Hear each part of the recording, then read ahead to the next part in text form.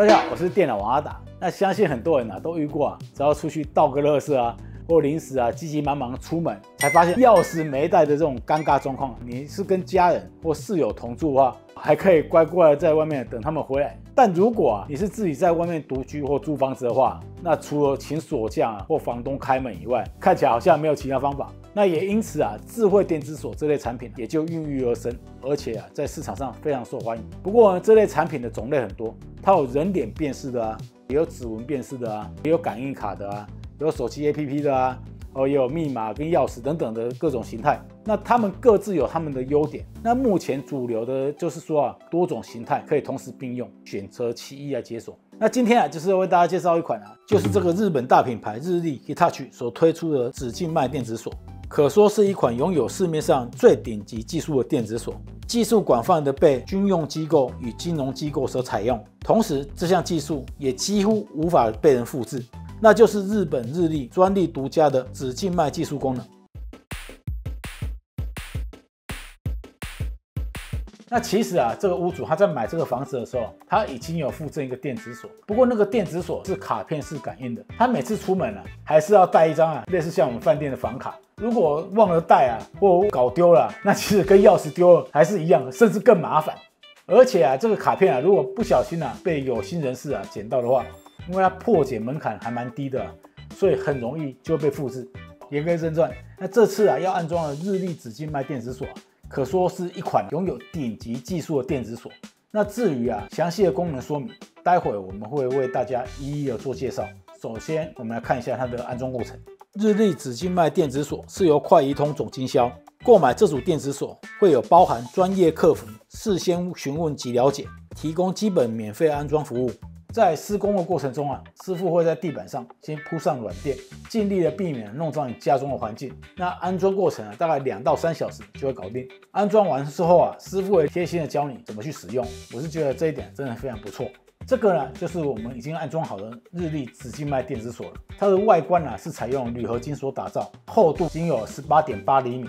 这样装上去之后，真的可以看出日本工匠的精致与细腻度，显得非常高尚。如果你今天也想买个日立紫静脉电子锁啊，有几个地方你就要稍微注意一下，因为每个家庭它的大门规格都不太一样。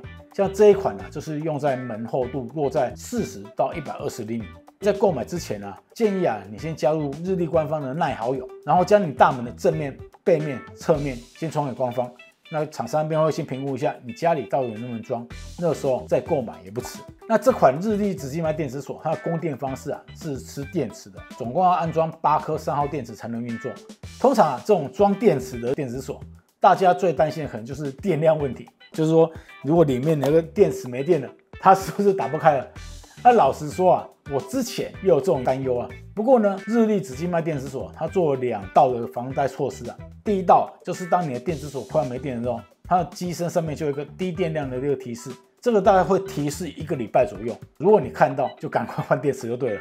第二道啊，就是它在底部啊是支援 Type C 供电的。如果你因为长时间出国回来，好死不死，就刚好门锁没电，那这个时候你知道拿个行动电源从下面接上去，一样可以为电子锁紧急供电来解锁。那日立指静脉电子锁它的解锁方式啊，除了指静脉以外，它有另外几种，分别是啊密码、卡片跟钥匙。那最多啊可以记录一百组的密码跟辨识方式。那我们首先啊先讲一下日立独家的指静脉功能，它跟一般指纹辨识不太一样。它是采用隐藏式的设计，从外观上是看不到辨识的区域。它的原理啊是使用内部的一个近红外线来扫描你的手指内部，然后再截取你的静脉图像，接着再透过图像加密的方式来储存资料。因为已经是加密化，所以此款电子锁是无法被破解的。目前坊间市面上也有号称指静脉电子锁的品牌，但根据啊知情的专业锁匠透露，除了这款日立的指静脉电子锁是真的技术以外，其他的指静脉啊，也是跟指纹锁一样，只有截取图案，并没有进行加密哦。那指静脉跟指纹呢，最大不同就是说啊，它是存在你的手指内部，你用肉眼啊，其实几乎看不到的。而且啊，如果大家看过电影就知道，如果你想要闯入什么极机密的一个设备啊，只要取得相关人的指纹啊，这样就拿到。而指静脉就不一样，它内部的分布啊，相当的复杂，想要窃取你的指静脉，根本就不可能做得到。他人接收率成功率啊只有零点零零零一趴，那本人收据率啊只有零点零一趴，所以也蛮多啊，像国防机构啊，或者是像金融机构啊，都要使用指静脉解锁，就是因为这样子。你只要去 Seven Eleven 走一趟啊，现在店里面的 ATM 啊，很多也是采用指静脉辨识，对没带卡的人来说啊，就相当的方便。那日立级指静脉电子锁呢，它的其他解锁方式也做得相当安全。以密码锁来说啊，你在输入密码的时候，套二十个虚位密码功能，可防止啊在解锁的时候被其他人偷看。就是说，假设你的密码是二二三三四四，那你如果这样直接按的话，是不是很容易被旁边的人看到？那它的设计方式就是说，你可以在它的前面先随便你乱打一串数字，那你中间只要输入正确的二二三三四四，然后再加后面的码，也是乱打无反正就是在这二十码里面，你知道正确密码，它就会解锁，这样子比较不会让人家猜透，加的密码到底是什么？好，直接操作给大家看。